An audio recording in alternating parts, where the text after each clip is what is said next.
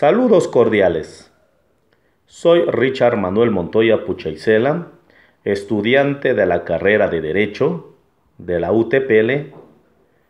Hablaré de los aspectos de la vida jurídica de las compañías sobre la intervención.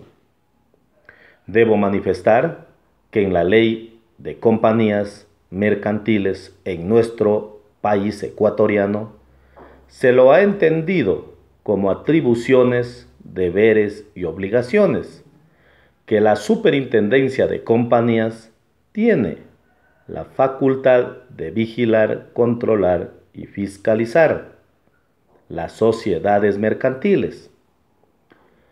Por lo tanto, la intervención tiene la solución mediante la inspección de control de corregir.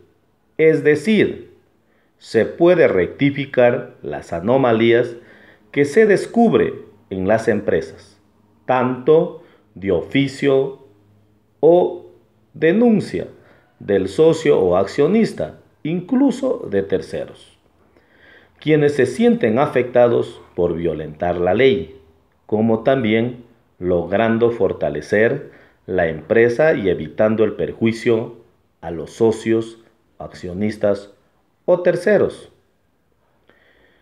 También podemos decir que es una obligación constitucional y legal, como lo establece el artículo 353 al 358 de la Ley de Compañías, ya que la Superintendencia de Compañías supervigile la economía, patrimonio y evitar daños a socios, accionistas o terceros, tanto de uno o más interventores de la compañía.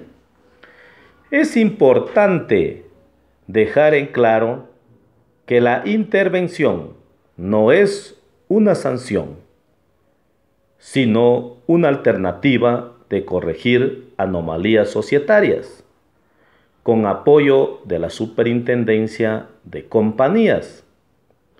Asimismo, si no se lo puede corregir las irregularidades en el laxo moderado, la compañía tendrá que liquidar y pagar, ya que el Estado no puede permitir estos actos ilegales en contra de los inversionistas y accionistas.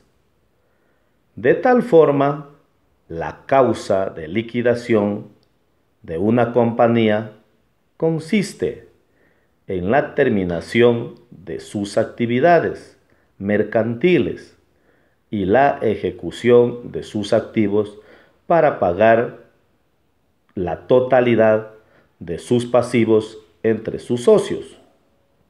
Ahora bien, podremos manifestar y podemos concluir con una finalización muy concreta,